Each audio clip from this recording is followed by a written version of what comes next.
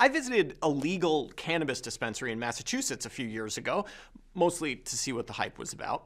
There I am, knowing basically nothing about pot, as the gentle stoner behind the counter explained to me the differences between the various strains. Acapulco Gold is buoyant and energizing. Purple Kush is sleepy, relaxed, dissociative. Here's a strain that makes you feel nostalgic. Here's one that helps you focus. It was as complicated and as oddly specific as a fancy wine tasting, and I had a feeling about as reliable. And while a strain that evokes memories of your first kiss is beyond the reach of modern cultivation practices, it is true that not all marijuana is created equal. It's a plant after all, and though delta 9 tetrahydrocannabinol, THC, is the chemical responsible for its euphoric effects, it's far from the only substance in there. The second most important compound in cannabis is cannabidiol, CBD, and most people will tell you that CBD is the gentle yin to THC's paranoiac yang. Hence, your local ganja barista reminding you that if you don't want all those anxiety inducing side effects of THC, grab a strain with a nice CBD balance. But is it true? A new study appearing in JAMA Network Open suggests, in fact, that it's quite the opposite.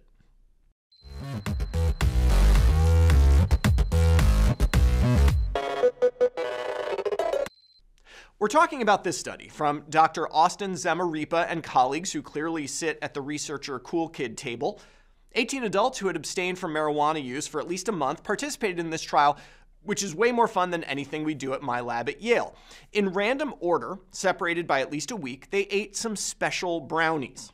Condition one was a control brownie. Condition two, a brownie with 20 milligrams of THC. And condition three, a brownie with 20 milligrams of THC and 640 milligrams of CBD. Participants were assigned each condition in random order, separated by at least a week. A side note on doses for those of you who, like me, are not totally weed literate. 20 milligrams of THC is about a third of what you might find in a typical joint these days, uh, though it's about double the THC content of a joint in the 70s. I believe the technical term is doobie. 640 milligrams of CBD is a decent dose, as 5 milligrams per kilogram is what some folks start with to achieve therapeutic effects. Both THC and CBD interact with the cytochrome P450 system in the liver.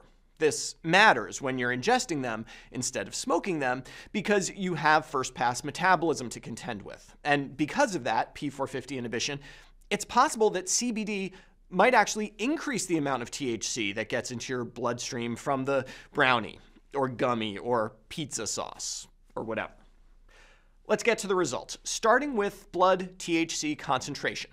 It's not subtle. With CBD on board, the THC concentration gets higher, faster, with roughly double the area under the curve. And unsurprisingly, the subjective experience correlated with those higher levels. Individuals rated the drug effect higher with the combo. But interestingly, the pleasant drug effect didn't change much, while the unpleasant effects were substantially higher. No mitigation of THC anxiety here, quite the opposite. CBD made the anxiety worse.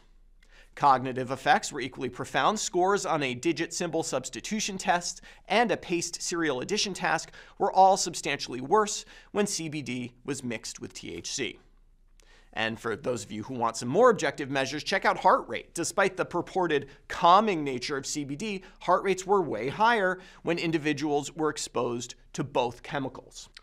Okay, the picture here is quite clear, though the mechanism is not. At least when talking edibles, CBD enhances the effect of THC, and not necessarily for the better. It may be that CBD is competing with some of the proteins that metabolize THC, prolonging its effects. CBD may also directly inhibit those enzymes. But whatever the case, I think we can safely say the myth that CBD makes the effects of THC more mild or more tolerable is busted.